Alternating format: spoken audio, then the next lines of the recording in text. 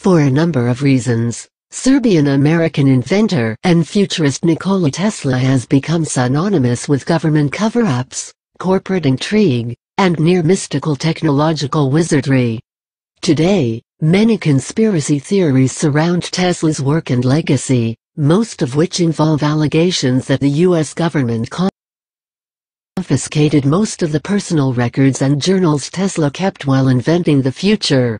While there might have been legitimate security concerns surrounding the technical details of some of Tesla's more potentially dangerous research projects, the mystery of Tesla's files remains unsolved. To add more intrigue to the inventor's legacy, a Tesla biographer has made some rather otherworldly claims about the visionary inventor. In the recently updated semi-biography The Lost Journals of Nikola Tesla, HAARP, Chemtrails and Secret of Alternative 4, author Tim R. Swartz claims that Tesla was once contacted by aliens via transmissions from outer space. According to Swartz's book, Tesla at one point was developing a powerful radio antenna designed to monitor thunderstorms in Earth's skies. While testing the device, Swartz claimed in an interview, Tesla overheard radio transmissions he believed were actually extraterrestrial communications. He wondered at the time if he wasn't listening to one planet greeting another, as he put it. From that point on, it became somewhat of an obsession of his, to build better and better radio receivers to try to see if he could repeat what he heard. He got to the point where he claimed that he was actually receiving voice transmissions, he said it sounded just like people talking back and forth to each other. He made notes saying that he was actually hearing intelligent beings from another planet talking to each other, although he didn't know what language they were speaking.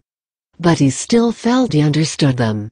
The Amazon description of Swartz's latest Tesla book claims that the book was written using sensational data obtained from the inventor's most private papers and kept under wraps by the military and big business concerns, and the description soon after devolves into the typical screed against secret governments and chemtrail conspiracies.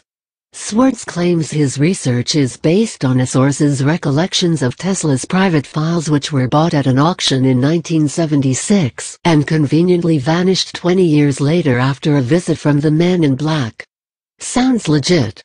However dubious these Tesla claims might be, the time when Tesla would have been conducting this research happens to coincide with the beginnings of America's love affair with UFO sightings, known as the airship wave.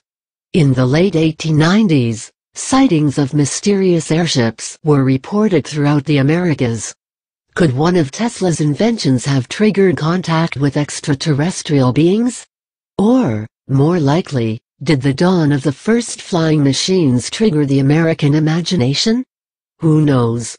As with all things Tesla, this one remains shrouded in mystery and a great deal of fanciful speculation.